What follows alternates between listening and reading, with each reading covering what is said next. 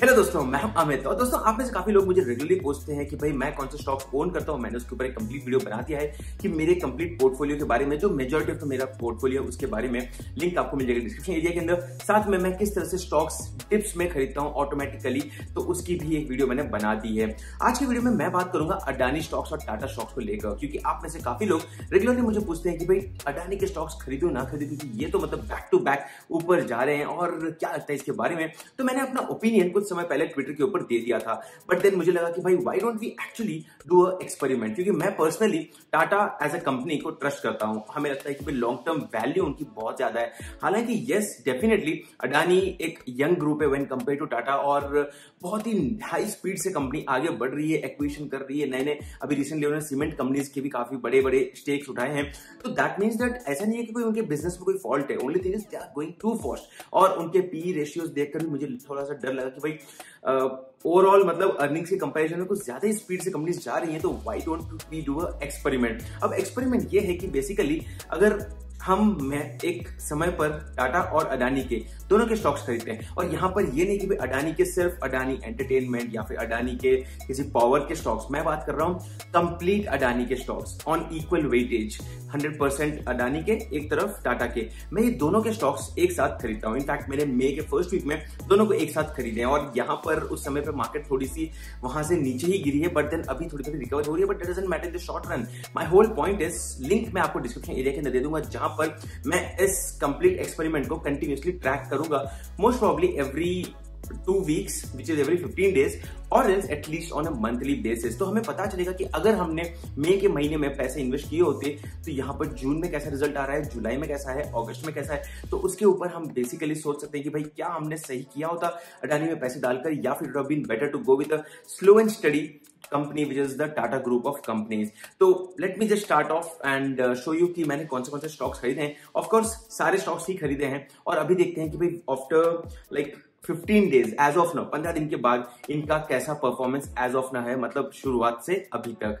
Let's get started with the complete data report अब दोस्तों, ये है लिस्ट ऑफ़ द स्टॉक्स अभी टाटा के जितने भी स्टॉक्स मैंने देखे, मैंने अपने रिसर्च के हिसाब से मुझे जो भी स्टॉक्स मिले, वो मैंने यहाँ पर ऐड कर दिया। आप देख सकते हो टाटा एलेक्सी से लेकर यहाँ पर वोल्टास लिमिटेड तक के मैंने स्टॉक्स खरीदे हैं। और ये स्क्रीनशॉट आज एटीन मई के दिन मैंने लिया है। हालाँकि सबसे इंपॉर्टेंट चीज़ जो है वो आपके लिए ये रहेगी, भाई वेट्स आपको देखना है percentage of the weightage and this is almost similar हालाँकि प्राइजेस के हिसाब से थोड़ा आगे पीछे हो सकता है। मतलब मार्जिनल डिफरेंस बट आप देख सकते हो कि किसी में पंद्रह वेटेज और किसी में पाँच का नहीं है।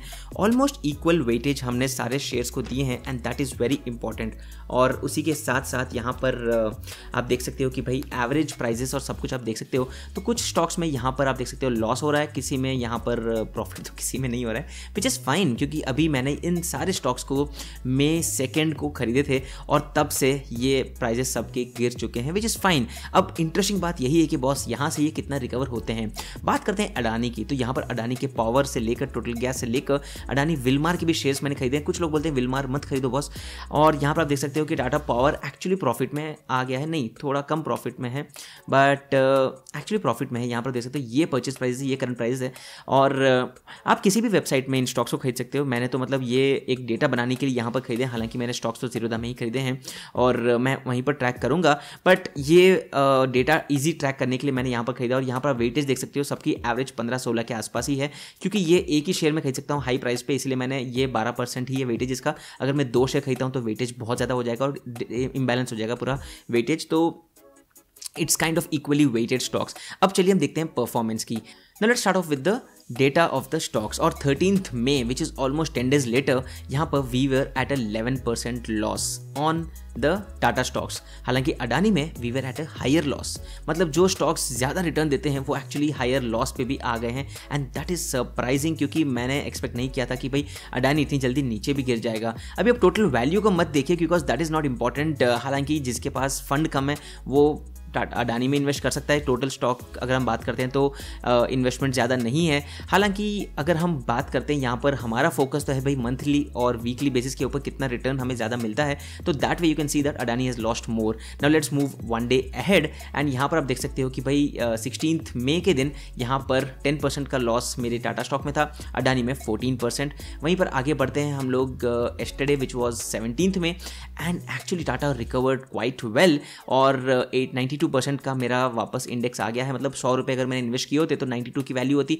वहीं पर अडानी में मेरे बारह रुपये चले जाते, ग्यारह रुपये चले जाते, एटी एट की वैल्यू होती। और आज जिस दिन मैं ये वीडियो बना रहा हूँ एटीन मे के दिन now you can see that the gap is being filled and अगर हम बात करते हैं तो नाइन्टी थ्री परसेंट हो गया है टाटा का स्टॉक और अडानी का नाइन्टी वन परसेंट। अगेन ये एक एक्सपेरिमेंट है तो बेसिकली आपको मैं अगर बताता हूँ तो this is very short term period just two weeks and market has been very bearish in this May month तो यहाँ पर आप डेटा को मत देखिए बट स्टेट यून आपको लिंक मिलेगी डिस्क्रिप्शन में ट्विटर की जहाँ पर मैं इसे every fifteen days most probably track करूँगा। अगर मैं भूल भी गया तो मंथली बेस पर ट्रैक करके इस ट्वीट uh, को अपडेट करते रहूँगा। तो आप इस वीडियो को कभी भी देख रहे हो ये एक्सपेरिमेंट को। लाइव अपडेट्स आपको ट्विटर के ऊपर मिलेंगे मेरे जहाँ पर आप मुझे फॉलो भी कर सकते हो। डिटेल में आपको वहाँ पर डेटा मिलता रहेगा कि भाई कौन सा स्टॉक कितनी जल्दी रिकवर कर रहा है। और यहाँ पर हमने कोई बायस नहीं किया हमने सारे अडानी के स्टॉक्स खरीदे थे और सारे टाटा के स्टॉक्स खरीदे थे। तो उसी के ऊपर ये एक एक्सपेरिमेंट रहेगा कि भाई अडानी में इन्वेस्ट करना इज़ इट बेटर और is it better to invest on Tata, क्योंकि हर बंदे का अलग बायस होता है, सोचना होता है। कोई सोचता है कि भाई नहीं, अडानी बेटर है, कोई सोचता है टाटा बेटर है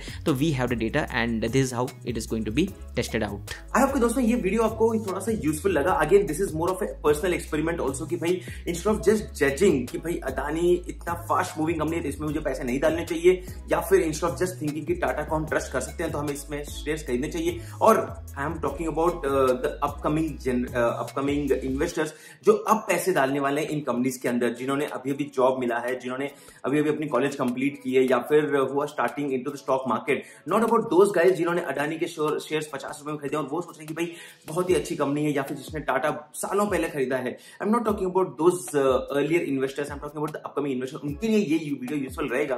तो आपको लिंक मिलेगा डिस्क्रिप्शन में जहाँ पर एक ट्विटर का ट्वीट है. आप उसे फॉलो कर सकते हैं लाइक कर सकते हैं और उसके साथ आप बने रह सकते हैं क्योंकि उसी ट्वीट को मैं अपडेट करते रहूँगा एवरी फिफ्टीन डेज़ और एवरी मंथली बेसिस तो that we have a better analysis कि भाई टाटा वर्सेस अदानी किस कंपनी में और किस ग्रुप ऑफ़ कंपनीज़ में हमने पैसे डाले होते तो कैसे हमें रिस्पॉन्स या फिर फीडबैक ओवरऑल रिटर्न मिल सकते थे।